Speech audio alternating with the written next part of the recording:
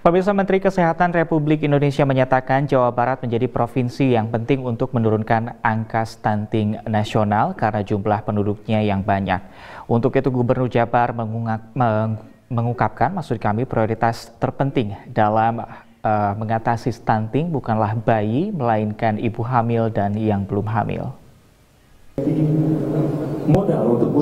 Saat ini pemerintah Republik Indonesia berupaya menurunkan angka stunting atau gagal tumbuh dari 24 ke 14 persen.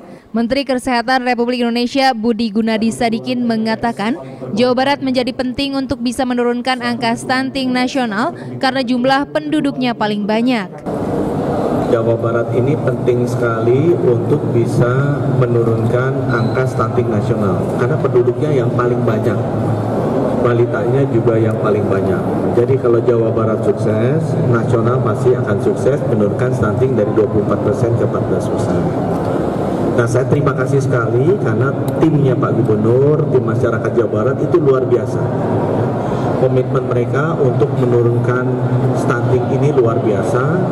Kepala BKKBN Republik Indonesia Hasto Wardoyo pun mengatakan isu resesi seks tidak perlu dipercaya karena di Jawa Barat kebanyakan orang menikah dengan tujuan prokreasi atau ingin punya anak.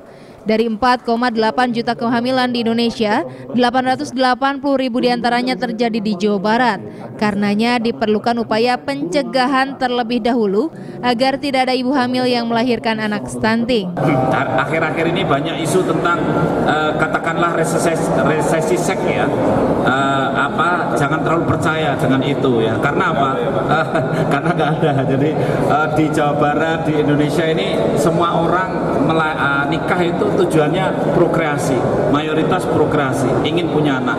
Makanya kemudian tadi kita bersama Pak Gubernur, Pak Menteri menghitung bahwa Jawa Barat ini yang lahir saja, yang hamil setahun sekitar 880 ribu. Dari 4,8 juta seluruh Indonesia, paling besar adalah Jawa Barat.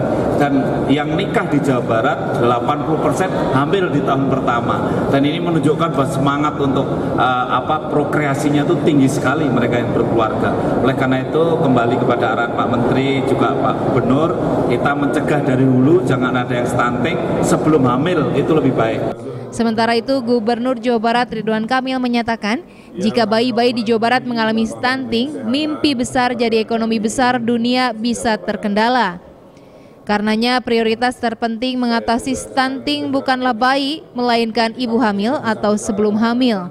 Dirinya pun akan mengevaluasi dan menggerakkan seluruh instrumen untuk memastikan angka stunting di Jawa Barat membaik.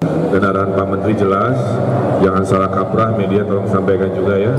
Prioritas terpenting dalam mengatasi stunting ini bukan di bayinya. Prioritas pertama itu di ibu hamilnya dan ibu sebelum menikah. Kalau itu bisa dicegah di awal, dicegah, insya Allah bayi-bayinya jauh lebih sehat ketimbang kita fokus kepada bayi yang sudah lahir saja. Nah mudah-mudahan dengan arahan ini kami akan evaluasi, kami akan gerakan uh, seluruh instrumen untuk memastikan uh, angka-angka uh, itu membaik.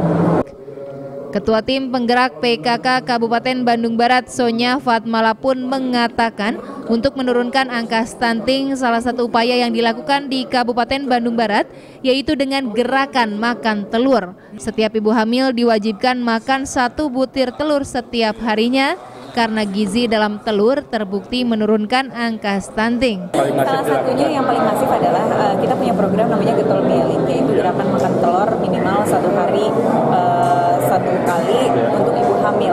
Jadi kan kalau yang seperti tadi disampaikan sama Pak Menteri Kesehatan bahwa ketika anak yang sudah stunting itu penanganannya akan lebih rumit. Yeah. Tapi ketika kita mencegah agar tidak terjadi anak yang stunting lagi, tentu itu akan lebih uh, baik lagi begitu. Nah, dengan telur ini sudah uh, dilakukan penelitian bahwa telur itu bisa menurunkan angka stunting hingga 50 sampai 60 persen. Ridwan Kamil pun berharap Januari 2023 angka stunting di Jawa Barat akan turun. Budi Hartati, Bandung TV.